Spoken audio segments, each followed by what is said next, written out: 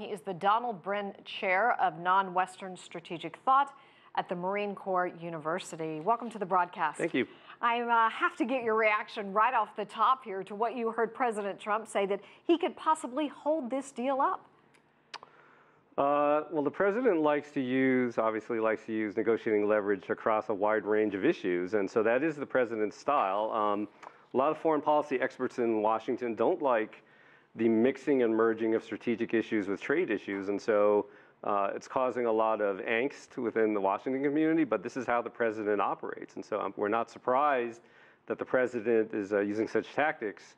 And, uh, but um, uh, that's just how his style is. And so over the last year and a half, that's just how we've gotten to get, we've had to get used to that. So what is your reaction to this historic meeting, April 27th?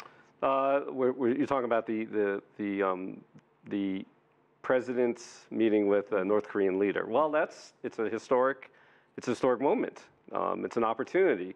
Um, there's a concern that uh, that uh, with such a hollowed out foreign policy State Department establishment, will the president be prepared? It's coming right up, and so that's one of the concerns is that we don't have enough of uh, the expertise to go into such an important in such an important meeting. Um, there's it, the stakes couldn't be any higher. This is no doubt a victory for Moon, who has long been pushing hard for this diplomatic relations with the DPRK. He said at his swearing in ceremony 2017 for peace on the Korean Peninsula, I will do everything that I can do. Why now for this?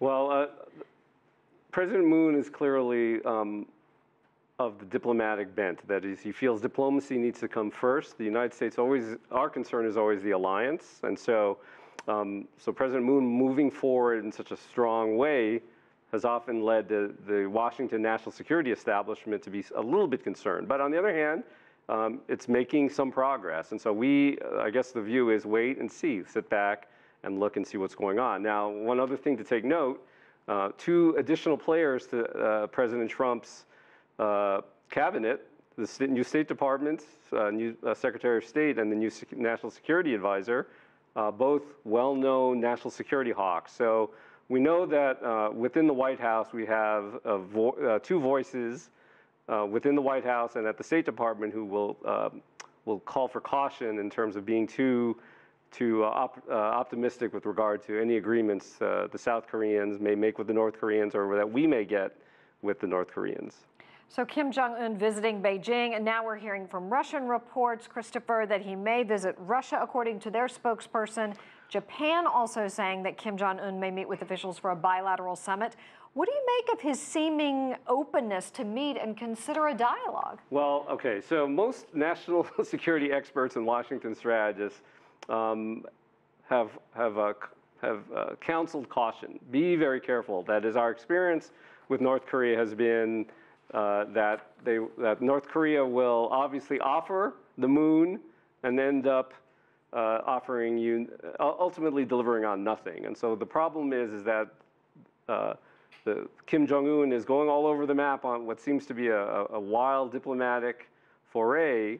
Um, we need to be very careful not to be too optimistic with regard to what this actually means. I, in other words, I'm being cautiously pessimistic with regard to what, uh, the, the prospects for what is going on right now. All right, so we know the Japanese Prime Minister Shinzo Abe is said to be meeting with uh, President Trump in Florida, probably at Mar-a-Lago, in April, ahead of any potential meeting with Kim. With a list of concerns over this potential encounter, what would they be?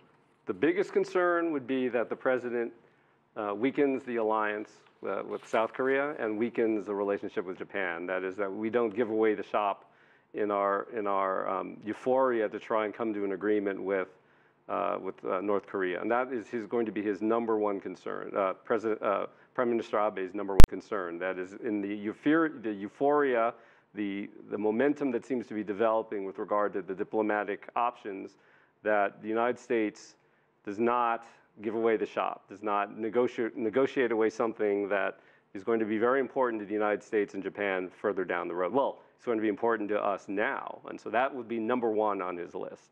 Um, secondly, there, there are a number of issues that Japan has with North Korea, which uh, frankly does not rate high on American national security interests. So, for example, North Korea and Japan have a big problem with, uh, with uh, uh the fact that North Korea had kidnapped a number of Japanese citizens a few decades in the past and are still holding those citizens.